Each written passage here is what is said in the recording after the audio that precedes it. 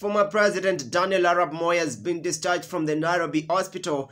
A statement from Lee Njiru's press secretary and official spokesman said he was discharged on Thursday after two weeks in hospital. The Moi family has expressed gratitude to all those who offered prayers and sent quick recovery messages.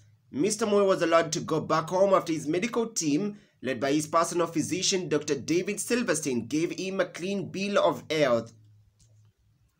He had been admitted for an illness that has not yet been disclosed. Last week, the Moi family dismissed reports that the Kenya's second president was in a critical condition, saying that though he had been rushed to the hospital, he was alert and conscious of his surroundings.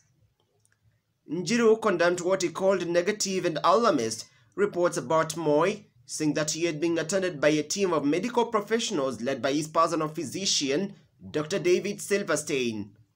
This statement did not disclose the nature of Moi's ailment, but sources indicated that he had been treated for breathing complications he developed over the weekend. The former president, who turned 95 years in September, underwent a knee surgery in Israel last year, but he has been in and out of the hospital since then for routine checkups. Reporting for the Kenya Digital News, my name is John Matavam.